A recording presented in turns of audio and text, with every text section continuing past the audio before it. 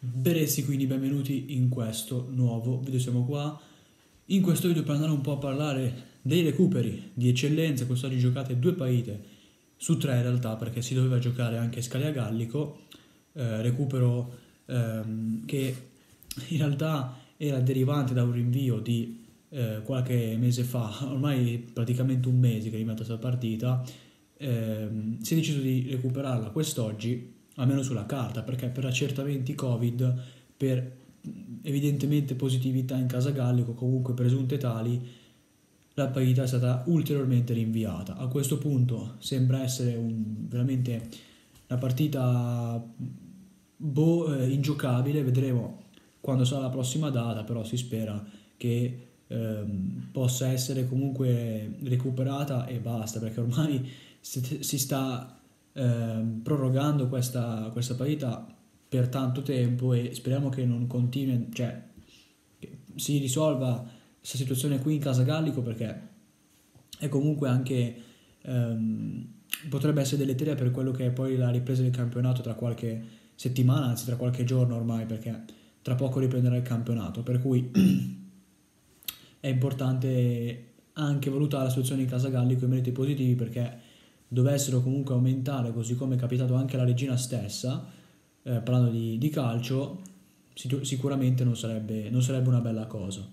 Eh, quindi nulla, classifica che vede lo Scalia ancora 15 e il Gallico ancora 18, ma entrambi devono recuperare sta benedetta partita. Però le altre due squadre, Locri, le altre quattro squadre, Locri Acri e Reggio Mezzoriano, fortunatamente sono scese in campo e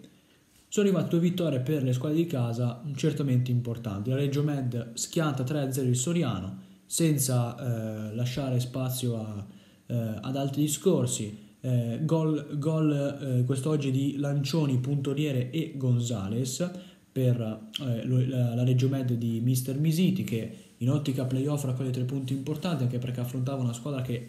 il Soriano è ancora appena dietro la zona playoff quindi con questi tre punti la Reggio Med va più 7 dal Soriano e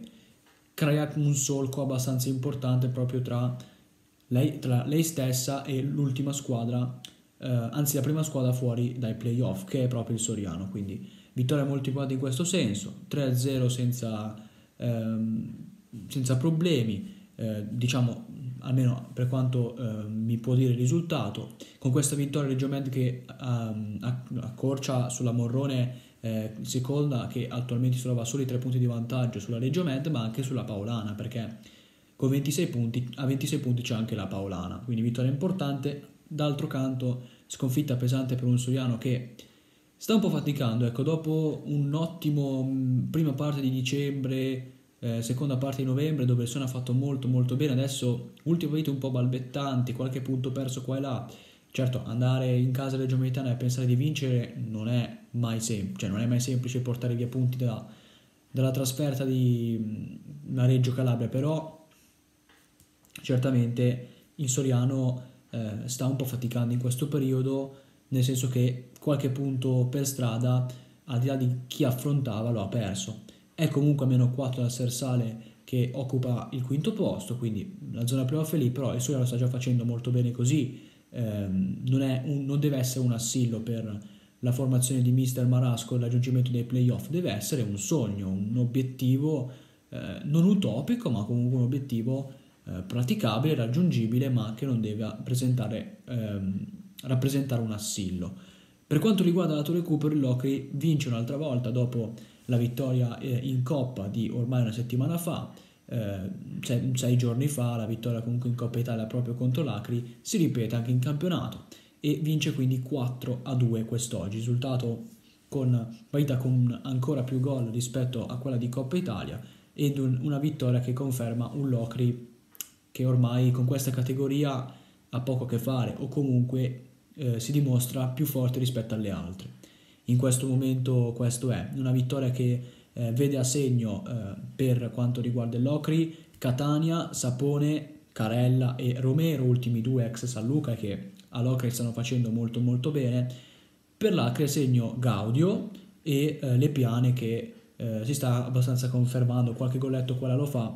eh, anche se diciamo che posso aspettarmi che qualcosina in più. Ecco, si conferma sicuramente due cose. Un Locri devastante che in casa continua a vincere ma anche fuori casa. Ha vinto eh, la Coppa Italia e ormai è sempre più vicino a fare il doblete perché anche visti i punti persi dalla Morrone, Locri che ha 39 ha più 10 della Morrone seconda, ragazzi. Se Locri perde 10 punti nel giorno di ritorno, veramente merita di non andare prima e merita assolutamente di non andare in Serie D perché cioè, suicidarsi così veramente vorrebbe dire veramente un suicidio atomico, perdere 10 punti di vantaggio ehm, così sarebbe veramente un suicidio atomico per un Locri che sembrerebbe ormai essere in D ma lo è da diverse settimane, la squadra certamente più continua e anche forse costruita meglio rispetto alle altre per poter fare questo tipo di campionato. D'altra parte un Acri che, con, che si conferma, l'altra conferma è che in trasferta l'Acri fatica. Certo, andare a vincere all'Ocri non è mai semplice, anzi molto molto difficile e anche quasi impensabile, però certamente l'Acri in trasferta deve fare qualcosa di più perché ha raccolto 17 punti fino a questo momento, solo i due punti di vantaggio sullo Scalea eh, che è in zona play-out e diciamo che soprattutto in trasferta quest'anno ha peccato l'Acri perché